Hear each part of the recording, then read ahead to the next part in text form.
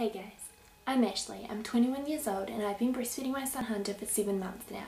It's not long compared to some of you other mothers out there, but I do intend to do it for quite a while yet. I created this page for mothers to get the support, encouragement and maybe even hope they need to continue breastfeeding.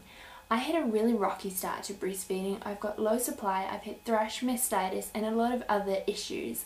Breastfeeding hasn't come easy to me and when I realised and talked to a lot of other mothers I found that it wasn't easy for them either in the beginning. We've got a lot of mothers on here, all from different walks of life who have overcome different obstacles in their breastfeeding journey.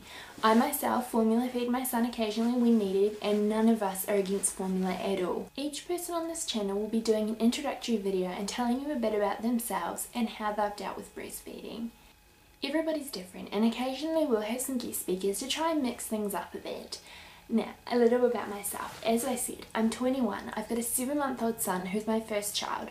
I'm working part time, which means I pump um, because of my low supply I actually pump a lot and I bottle feed and I also formula feed when I need to.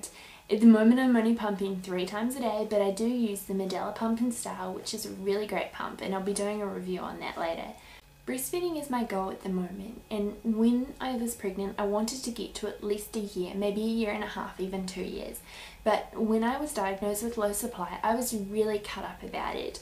I did a lot of research and there was not much support out there. There was a lot of facts and figures and information, but there wasn't real stories told by real mothers about, you know, what they're experiencing, what they're going through.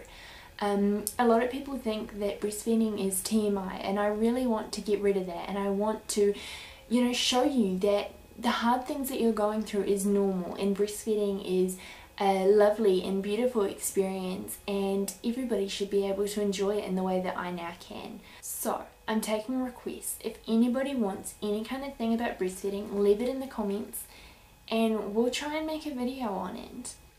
We want to create a happy and peaceful environment. We're not here to start drama and we don't want people to start drama in the comment sections. The comments aren't moderated, however we just want you to be polite. So I look forward to getting to know you all a lot better and like I said, if you've got any requests or anything like that, put a comment down below. And if you want to introduce yourself, say hi. We want to make this a real community. So I'll talk to you guys all soon and in the next few days you'll be seeing introductions from our other mums. And I hope you're all having a great day. Bye.